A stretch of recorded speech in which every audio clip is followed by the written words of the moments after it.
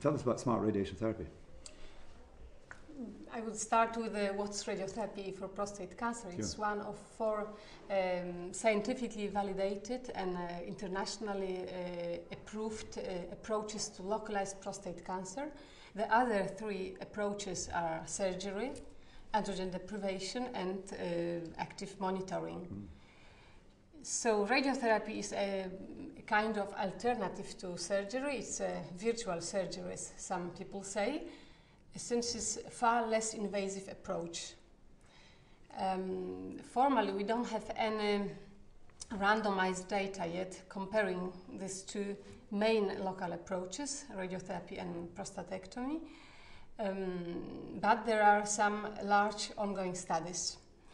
Uh, while uh, waiting for the results of these studies, there is, I must say, very stimulating competition Mm. between surgeons and us, so and ourselves. So I think that it's uh, in this way we, uh, in the recent uh, years, we um, witnesses really a revolution, not evolution, but revolution in treatment techniques.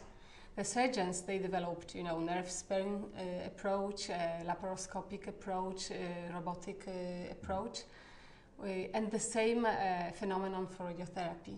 So we we have um, now much less invasive uh, radiotherapy, high precision radiotherapy. We have the way to to see what we treat and to treat what we see. Uh, I just mentioned that um, uh, historically radiotherapy was given just uh, based on the external external um, signs, external um, reference point for where is the pro- where is prostate uh, in the human body.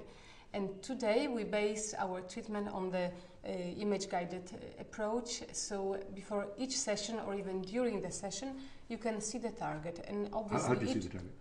You can see it with the various, uh, with variety of methods like uh, ultrasound-based image-guided um, approach, uh, um, KV, KV, which is uh, um, X-ray uh, positioning, or uh, even um, CT scan. So it's cone beam uh, CT scan performed just before the treatment.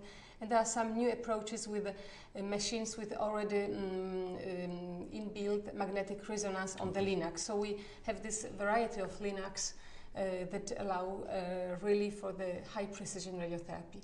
So in this way we can improve the results and mm, there are also some other approaches that you can increase the results like androgen deprivation. We have more and more data on how to combine these two modalities and also for new uh, fractionation scheduling and so on. So there are really plenty of new technologies, of new um, approaches to improve the results in this uh, a, this is very interesting. This um, um, radiosurgery. Other people have been talking about at this meeting here, Yeah. and um, uh, John Yarnold was talking about uh, the explosion of hypofractionation uh, uh, clinical trials in breast. Same thing happening in prostate. Same happened in uh, prostate. Uh, this is due to uh, biological data we have. We have more and more data showing that prostate cancer is uh, very sensitive to fraction size, which means that if you increase the, si- the fraction size from the traditional 2 gray per fraction, and in this way you should gi- you give uh, 8 weeks uh, treatment, you increase the fraction dose to uh, 3, 4, 5, even 8 gray per fraction, uh, you have a much higher tumor effect. And, no, and normal tissue is protected because of you the have imaging. the method, method, you have technology to Yeah. protect normal tissue. This is the uh, Yeah. clue Yeah. of the these new protocols. Sure, sure. And and the, I mean, John Yarnold was saying 18 Even, even. Is this is this unthinkable in prostate? I mean, it's uh, radiosurgeries. I Yeah. like this uh, word because it's just uh, surgery given with radiation. Yeah.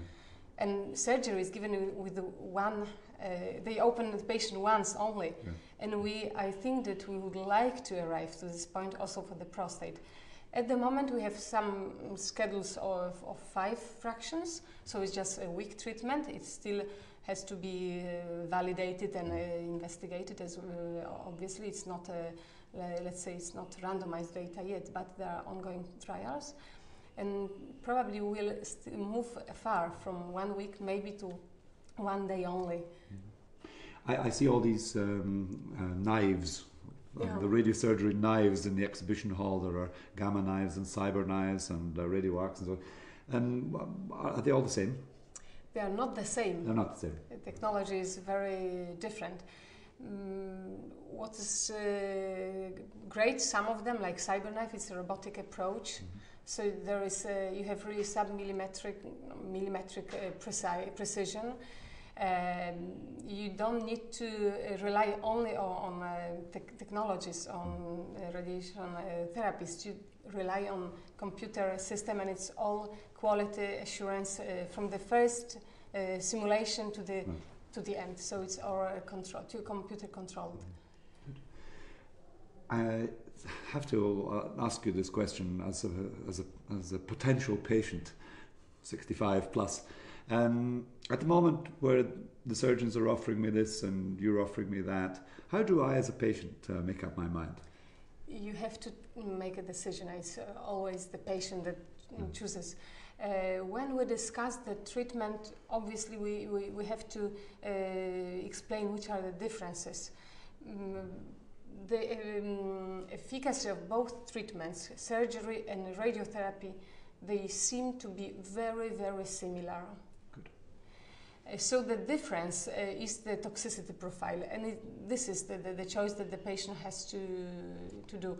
The surgery um, has some, since it's more invasive approach, uh, has higher risk of uh, urinary incontinence or uh, sexual dysfunction, while radiotherapy ha- has higher ri- risks of um, rectal bleeding or urinary um, dysfunction like uh, higher frequency. But with the new technologies, we really uh, we are really able to uh, reduce to less than one percent of the severe uh, light toxicity. So this is discussed every time with the patient, and the patient makes uh, this uh, takes a uh, makes a choice. And then the last thing is uh, this notion of, of both surgery and, and, and, uh, and uh, radiation therapy in the higher risk prostate cancer patients. This is now evidence based. This we have for this uh, scen- uh, scenario we have um, randomized uh, data. Uh, just last year uh, we've got uh, the third randomized trial showing um, a real benefit when you combine uh, surgery and radiotherapy in high risk patients. The patients, mm, T3 patients, so it's extracapsular disease or positive margin patients, they have up to 50% of them will have recurrent disease if treated only with surgery. And it has been uh, proved that um, uh, radiotherapy given up to three, four months after surgery uh, improves uh, not only biochemical uh, control, not only local uh, control, but also overall survival. In one of these trials, it was almost two years difference.